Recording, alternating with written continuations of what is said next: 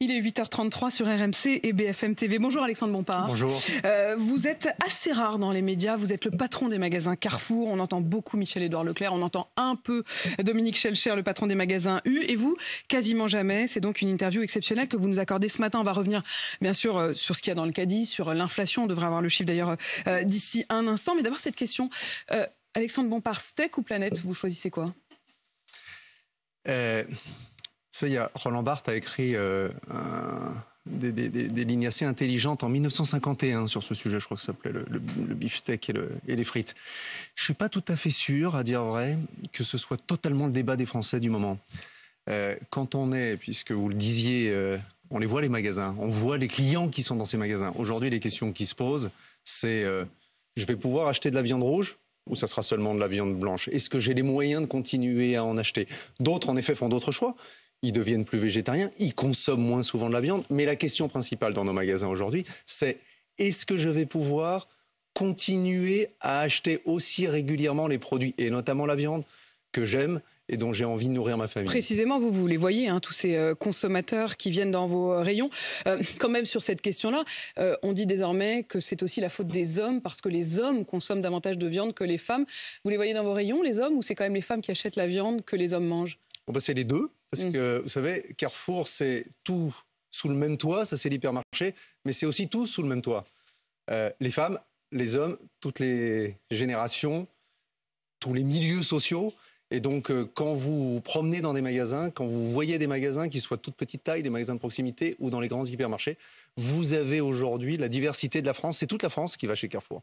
Et donc, en effet, euh, c'est ça qu'on voit. Euh, Alexandre Bompard, on, va euh, évidemment revenir aussi sur la difficulté tout simplement à acheter de la viande, c'est-à-dire la difficulté à pouvoir mettre de l'argent sur l'alimentaire qui est en train de devenir la variable d'ajustement. Mais il y a aussi une autre variable d'ajustement désormais qui est l'électricité. On vous demande, à vous les patrons, de faire un effort et de baisser de 10% la consommation d'électricité. Est-ce que vous allez, vous, dans les magasins Carrefour, dans les entrepôts Carrefour, baisser de 10% la consommation d'électricité. Vous pouvez vous y engager ce matin? Nous, on a lancé euh, dès 2018, à mon arrivée, une mission, une raison d'être. La transition alimentaire pour tous et cette idée que la qualité alimentaire, c'était pour tous, mais ça devait être plus sobre, plus respectueux de l'environnement. On a déployé des plans de transformation pour réduire la consommation. On est engagé à travers ces objectifs-là, qu'on communique d'ailleurs à l'ensemble euh, du marché. On a décidé d'accélérer. On va accélérer. Donc, euh, la demande qui a été faite par la Première ministre. En fait, on va aller plus loin que ça. On va baisser d'ici à 2024 de 20% notre consommation d'énergie. Alors ça ne se fait pas tout seul. Si on prend les grands postes de dépenses, elle est où la consommation d'énergie dans nos magasins? C'est d'abord le froid, c'est 50% de la consommation d'énergie dans nos magasins, c'est le froid. Ça veut dire qu'on va euh, fermer les meubles et donc équiper de nouveaux meubles parce qu'il faut fermer les portes des meubles froids. On va revoir l'ensemble des systèmes avec des fluides naturels. Et puis après, il y a l'éclairage, 20%. Et puis 25-30%, euh, la climatisation et la chaleur. On va investir massivement, à peu près 320 millions d'euros sur les deux prochaines années, en faisant tous les investissements de structure qui vont nous permettre donc d'atteindre les 20% de baisse de consommation d'énergie d'ici à la fin 2024. On avait déjà des objectifs très précis on va deux fois plus vite qu'on avait prévu parce qu'en effet l'urgence est là, parce qu'on doit prendre notre part et parce qu'on est prêt. C'est pas, on s'est pas dit hier matin, tiens, Vous si on se lançait. Vous n'avez pas attendu qu'Elisabeth Borne le dise euh, hier et qu'elle demande à ce qu'il y ait une baisse de 10%. Donc, je rappelle ce chiffre. Hein. Vous dites que d'ici 2024, vous vous engagez à baisser de 20% votre consommation d'électricité. Euh, vous dites aussi que ça va être 320 millions d'euros d'investissement. S'il va y avoir une petite répercussion sur les prix, là encore, non? Bah, C'est 320 millions d'euros d'investissement. Si vous m'autorisez un point supplémentaire, mm. on a été la première entreprise en juillet dernier à signer avec euh, RTE un, dispositif s'appelle EcoWatt qui fait que dès qu'il y aura une alerte rouge, parce qu'il y aura une tension, on a un dispositif qui est prêt immédiatement. On baisse de 40 à 70% l'intensité lumineuse, on passe nos magasins de 19 à 17 degrés. Donc vous avez un scénario qui est prêt, c'est-à-dire que si tout d'un coup on vous dit, on travaille. comme on, l'a dit, qu'il y aurait des moments sans doute cet hiver où il y aurait une grosse tension, si on vous prévient 24 heures à l'avance, vous êtes prêt, vous avez de quoi faire pour e baisser nettement. Alerte orange, alerte rouge, je suis en capacité dans tous les magasins Carrefour de déclencher des dispositifs qui sont moins d'intensité lumineuse, moins de chauffage, de manière déclenchement des, des, groupes électrogènes de manière à participer à l'effort collectif. Pourquoi on arrive à le faire? Parce qu'on se prépare depuis cinq ans. On ne s'est pas dit hier matin ni cet été, oh là là, il y, a une, grave crise énergétique, la plus grave depuis 50 ans, qu'est-ce qu'on peut faire? On est prêt à le faire, on va investir massivement. Et pour répondre à votre deuxième question, non, on ne va pas le répercuter sur le prix, parce que mon travail à moi, c'est d'avoir, d'être capable, par des efforts de gestion, de productivité, d'organisation, de ne pas répercuter cette énorme hausse, vous avez raison, des dépenses, des investissements pour réduire la consommation énergétique sur le panier de, nos clients. Moi, ça, j'ai quand même toujours un petit peu du mal à le croire, parce que je ne sais pas très bien où est-ce qu'ils passent, du coup, ces 320 millions. C'est-à-dire quand on voit quand même que les, prix augmentent, il y a bien un moment où vous n'allez pas euh, jusqu'au bout réduire, réduire, réduire votre marge. Bah, nous, on fait chaque année, depuis 4 euh, ans, un milliard d'euros d'économies. Ça, c'est ce qu'on fait. C'est ce qu'on communique là aussi. Vous savez, on a une boîte côté, au contraire de mes confrères que vous citiez tout à l'heure. On a une boîte côté. Donc nous, tout est transparent. Tout est transparent, tout est communiqué. On fait un milliard d'euros d'économies. On va continuer à les faire. Et c'est ça qui nous permet à la fois d'investir, et là on va investir très fort pour réduire la consommation d'énergie, et en même temps de ne pas répercuter au consommateur final qui de toute façon ne peut pas le payer. Mais quand on regarde les hausses sur l'alimentaire, les hausses euh, sur la volaille, les hausses sur euh, la viande, les hausses sur l'huile, sur le riz, sur les pâtes, sur le café, euh, qu'est-ce qui n'a pas augmenté Et est-ce qu'on doit redouter encore des augmentations dans les semaines ou dans les mois qui viennent? Bah, Vous avez raison. On est rentré depuis novembre dernier. En novembre dernier, j'entendais beaucoup, y compris sur ces plateaux parfois, l'inflation est transitoire, elle va s'arrêter au T2, etc. Tous les facteurs sont en route en même temps. On a on a des facteurs structurels d'inflation qui ont évidemment été renforcés, aggravés par la crise ukrainienne et par l'incroyable crise énergétique qu'on connaît. Donc, on a une augmentation de la matière première, donc on a une augmentation de tous les prix. On ne va pas les citer, évidemment, vous en avez évoqué un certain nombre d'entre eux. Ils sont là et ça va continuer. Et ça va continuer ça veut dire que quand on entend Bruno Le Maire qui la semaine dernière dit on est à un pic, sous-entendu ça va redescendre. On entend à l'inverse Olivier Véran hier qui dit on est sur un plateau plutôt que sur un pic. C'est quoi? C'est un pic C'est un plateau C'est un toboggan C'est quoi? Je vais vous décevoir. Je pense mm. que cette question n'a pas d'intérêt. La question n'est pas de savoir si on va atteindre 9,2, 8,1 ou 8,6, c'est de prendre conscience collectivement qu'on a désormais, on est dans un environnement d'inflation durable. On s'était habitué à une inflation entre 0 et 2, et on est dans une inflation structurellement qui sera supérieure. Et c'est ça qu'on a devant nous. Et d'ailleurs, la transition énergétique, vous le citiez dans votre question, elle va renforcer ça. Donc on a une inflation qui est durable. Mais moi, je vais difficile de vous... Moi, je vais peut-être aussi vous décevoir, mais je pense quand même que pour les Français, cette question, elle a vraiment un sens. C'est-à-dire qu'ils se disent, ok, je peux tenir ce mois-ci, mais bah, si le mois prochain ça redescend, ou alors euh, si on leur dit, bah écoutez, ça va durer six mois et puis ça redescendra pas, franchement, c'est un intérêt pour eux. Je vous ai répondu, elle est durable. Hmm. Aujourd'hui, elle était à 6%, vous le savez, euh, en juillet mon sentiment, mon sentiment de marché, mon sentiment sur le terrain, c'est qu'elle va continuer à augmenter un peu dans les prochaines semaines et les prochains mois. C'est ce qu'on sent, et c'est ce qu'on sent d'ailleurs des demandes de nos fournisseurs de répercussions sur les prix. Elle va continuer à augmenter.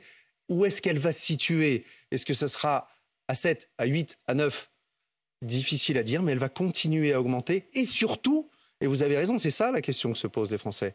Elle restera durable l'année prochaine. Elle sera peut-être légèrement moins importante, mais elle restera durable. En fait, la question, et d'ailleurs on aura le chiffre d'ici quelques instants, on le donnera évidemment en direct sur RMC et BFM TV, le chiffre euh, de l'inflation pour le mois. Euh, quand vous dites ça va rester durable, ça veut dire qu'en fait ces prix ne redescendront plus ben, ça veut dire que vous ne reviendrez pas hmm. en 2023, ni même en 2024, dans un environnement qui est celui qu'on a connu, où euh, on est à inflation alimentaire égale zéro. C'est pas ça qu'on a devant nous. Et quand il faut investir pour transformer l'ensemble de la chaîne énergétique, etc., ça y contribue. Donc tous les éléments sont réunis pour qu'on ait une inflation. Probablement le pic sera atteint à un moment dans les prochains mois. Je ne sais pas quand et je ne sais pas exactement à quel niveau. Et je crois que tous ceux qui se sont aventurés à des grandes prévisions depuis un an se sont un peu trompés. Donc restons prudents. Mais même quand le pic sera atteint et qu'on redescendra légèrement, on restera à des niveaux soutenus. Je voudrais qu'on rentre quand même un peu dans le détail. Je le disais tout à l'heure, notamment les prix de l'alimentaire, mais il y a aussi le prix des fournitures scolaires.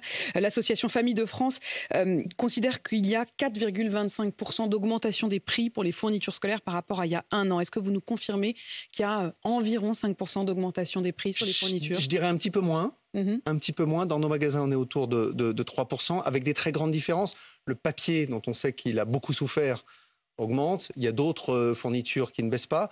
Nous, on a lancé une opération de 100, 100 produits dont le prix est bloqué pendant 100 jours à l'intérieur duquel on a des fournitures scolaires, quatre fournitures scolaires, des fournitures scolaires essentielles pour accompagner. On a aussi développé une marque premier prix qui est à 50, 60% moins chère que les marques nationales parce que c'est un moment clé, la rentrée scolaire.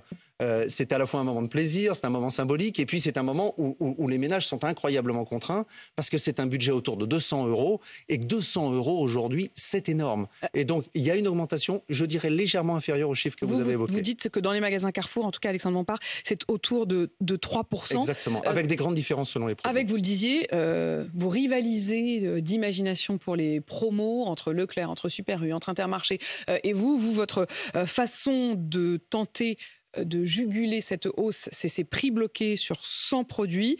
Euh, vous les bloquerez 100 jours et il faudra peut-être continuer ou prendre d'autres produits ensuite? D'abord, vous avez raison. Tout le monde, tous les acteurs de la grande distribution, ils prennent leur part. Hmm. Et moi, je ne juge jamais les opérations des autres. Ils font une petite course à l'échelle. Enfin, tant mieux pour le consommateur. Hein, exactement. Tant mieux pour le consommateur. Retenons ça. Tant mieux pour le consommateur. Chacun fait son travail avec ses dispositifs commerciaux. Nous, on a choisi celui-là, 100 jours. Ça veut dire que dans 100 euh, jours, on aura d'autres dispositifs. Parce qu'en effet, si on est cohérent avec ce qu'on vient de se dire, si l'inflation est là, la contrainte sur le pouvoir d'achat restera très forte. Et donc, avec ces il faudra, qui tout d'un coup il faudra trouver d'autres dispositifs et évidemment, on y travaille déjà. Il y a une autre solution pour laquelle vous plaidez, c'est la suppression de la date limite de consommation quand c'est possible. Euh, vous le faites déjà sur certains produits dans les magasins Carrefour, Alexandre Bompard Le gaspillage alimentaire, c'est terrible. Songez que un tiers de la production mondiale alimentaire, elle est gaspillée il y a deux façons de la réduire dans nos magasins. D'abord, vous savez, il y a euh, les, dates, euh, les dates limites de consommation. Celles-là, euh, elles s'imposent à tous. Mais lorsqu'on s'approche des dates limites de mm. consommation, lorsqu'on est un ou deux jours, on a déployé des dispositifs. On a maintenant des rayons anti-gaspi dont le prix est 30, 50% moins cher. Vous pouvez acheter un produit très près de la date limite de consommation. On travaille aussi avec des startups comme Too Good To Go pour euh, constituer des paniers repas. Ça, c'est les dates limites. Et puis après, il y a les dates de durabilité minimale. Vous savez, cette idée à consommer de préférence avant le. Mm. Ça, ça n'a aucun effet négatif sur la santé. C'est juste gustatif. On a déjà euh, décaler une centaine euh, de, dates. Sur quoi? Sur, euh, sur la farine, sur l'huile, sur, des produits qui peuvent durer. Exactement.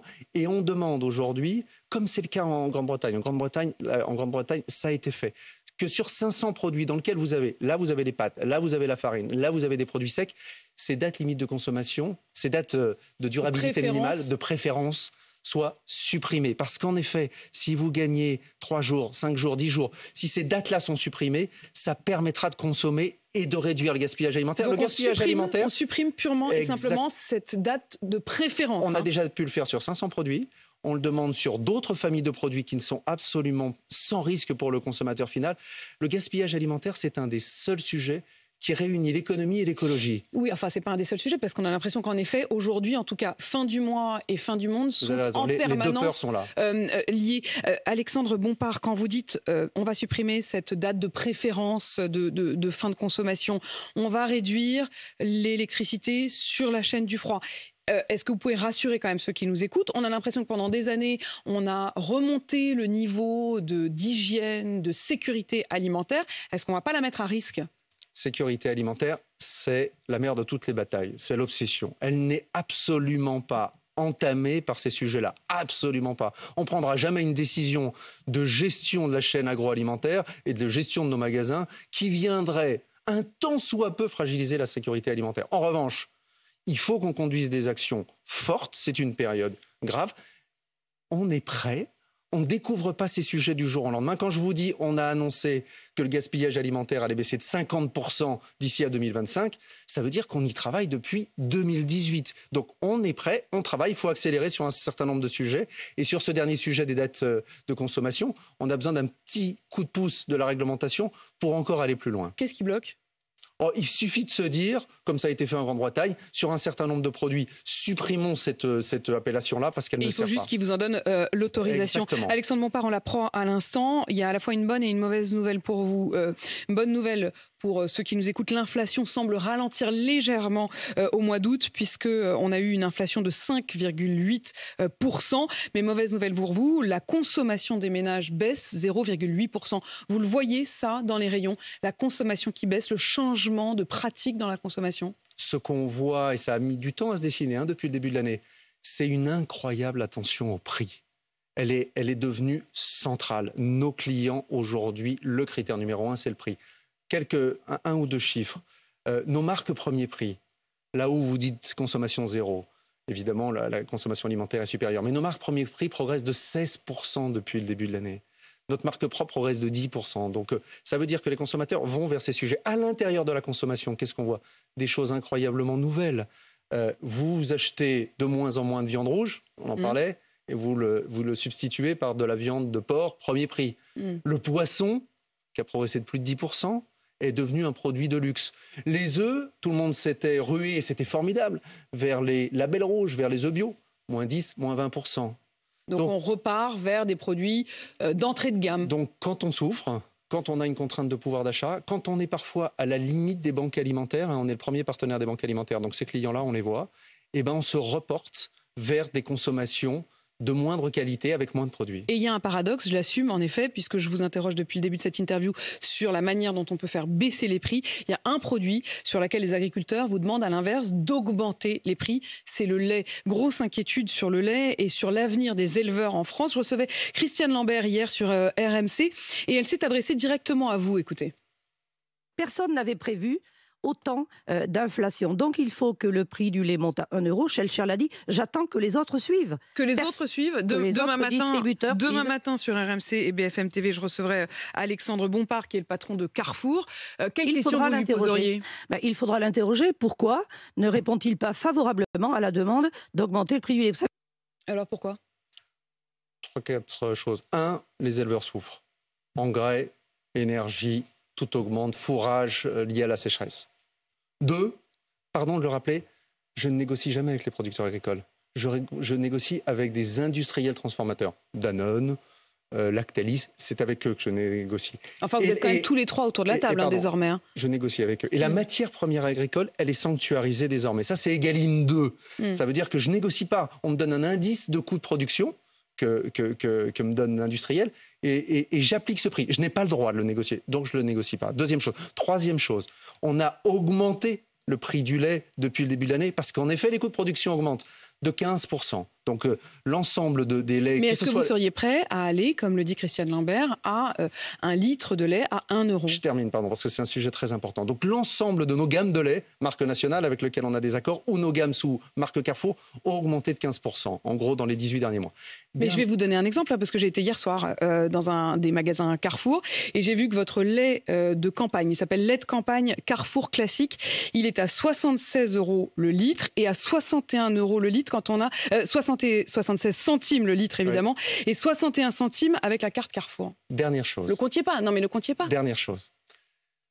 J'ai une deuxième mission, en plus d'aider la filière agricole. Ce que je fais, parce que je dépense un milliard de plus que l'année précédente en matière première agricole, c'est les consommateurs qui ne peuvent pas acheter du lait. Hmm. Parce qu'il y a des consommateurs, on sait, dans nos plateaux, on dit Oh, 20 centimes, 15 centimes, qu'est-ce que c'est?